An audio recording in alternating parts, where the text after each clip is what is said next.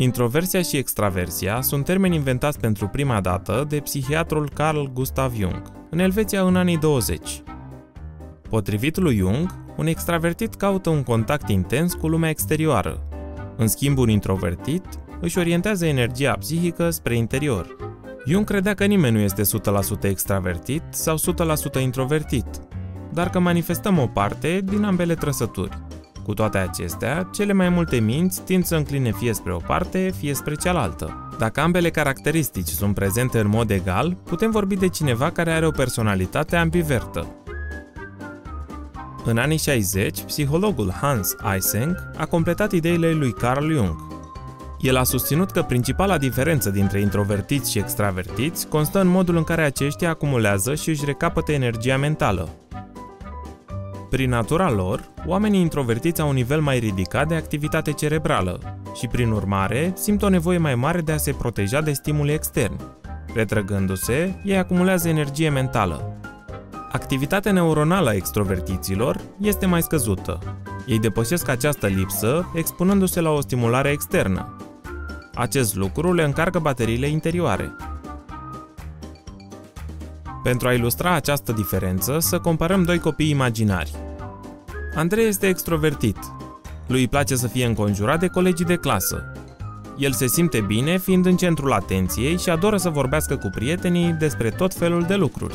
Andrei organizează meciuri de fotbal cu alți copii și imediat după aceasta își poate dori să joace ping-pong cu altcineva. Căutând stimul social, el adună energie mentală. Emma este introvertită, în timp ce alții se joacă în parc, ei îi place să stea singură și să îi privească.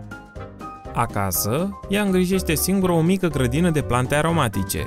Încet, încet, ea devine un adevărat expert în domeniu, dar acesta este secretul ei.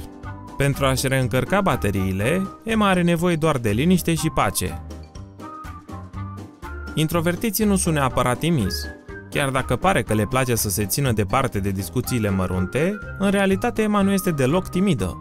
Ei nu este frică să vorbească cu nimeni, nici măcar cu cei mai în vârstă. Când sunt prea mulți oameni prin preajmă și conversațiile devin superficiale sau confuze, ea începe să se simtă super obosită. Strategia ei este să se retragă și să se închidă în propriul univers, pentru a se reîncărca prin tăcere. Lui Andrei îi place să aibă mulți oameni în jurul lui. Trecând de la o conversație la alta, el se simte stimulat. Unii experți susțin că extravertiții și introvertiții folosesc zone diferite ale creierului pentru a-și forma gândurile. Un extravertit tinde să folosească memoria de scurtă durată și prin urmare este capabil să facă asocieri mai rapide. Prin urmare, Andrei vorbește repede și mult. El pare inteligent, deoarece creierul lui oferă întotdeauna un răspuns rapid. Cu toate acestea, el vorbește adesea înainte să gândească și mai târziu se răzgândește. O persoană cum e Emma își folosește creierul pentru a selecta cu atenție informații din memoria de lungă durată. Gândurile ei sunt mai complexe și prin urmare au nevoie de mai mult timp pentru a se construi. Drept rezultat, ea mai întâi gândește și apoi vorbește. Dacă celor doi le-ar cere un turist indicații, Emma și-ar petrece timpul gândindu-se la cea mai bună soluție, în timp ce Andrei ar veni imediat cu diverse variante de răspuns. Profesorii buni și oamenii de afaceri inteligenți știu despre diferențele dintre introvertiți și extravertiți și încearcă să-și dezvolte punctele lor forte, atunci când pun întrebări, ei le cer tuturor celor prezenți să gândească un minut în tăcere înainte de a răspunde. Extravertiții învață astfel să-și pună gândurile într-o formă mai bună înainte de a vorbi, iar introvertiții au mai mult timp pentru a vorbi, exersând astfel vorbitul în public. În cadrul ședințelor de brainstorming, ei folosesc un proces formal prin care se dă cuvântul fiecăruia, pentru a se asigura că și o persoană cum e Emma poate participa. Proiectele de grup pot fi și ele formalizate pentru a susține ambele temperamente. Într-un proiect, extravertiții și introvertiții lucrează împreună. Astfel, Andrei învață de la Emma cum să gândească ideile pentru a construi gânduri mai profunde. Emma, în schimb, beneficiază de abilitățile de asociere rapide ale lui Andrei și învață să gândească și să vorbească mai flexibil. La următorul proiect, persoane cu același tip de temperament lucrează împreună, astfel ei văd la ceilalți propriile trăsături. Dacă se confruntă cu anumite probleme în cadrul echipelor cu același tip de personalitate, introvertiții vor trebui să vorbească, iar extravertiții sunt forțați să gândească mai profund înainte de a acționa. Profesorul Rudolf Steiner a fost un susținător al acestei metode pentru școlile sale Waldorf.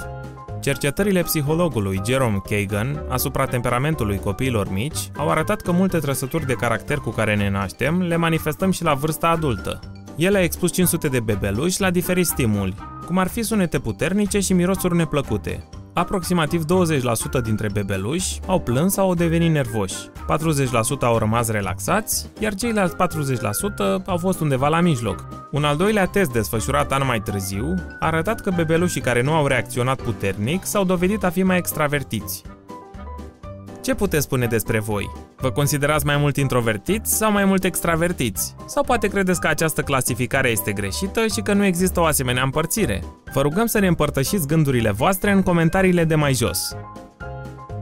Milioane de studenți din întreaga lume au vizionat clipurile noastre Sprouts pentru o învățare mai bună.